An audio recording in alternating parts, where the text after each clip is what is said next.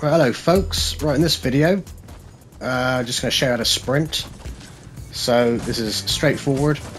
All you do is press down on your left analog stick while the bar, while you've got enough power, you can see the bar in the bottom left hand corner there with the little man running. And once that's charged up, you're ready to sprint. So like I say, just press down while moving and uh, you're sprinting until the energy bar runs out. So we are. Hope that helps. Thanks for watching and we'll see you soon.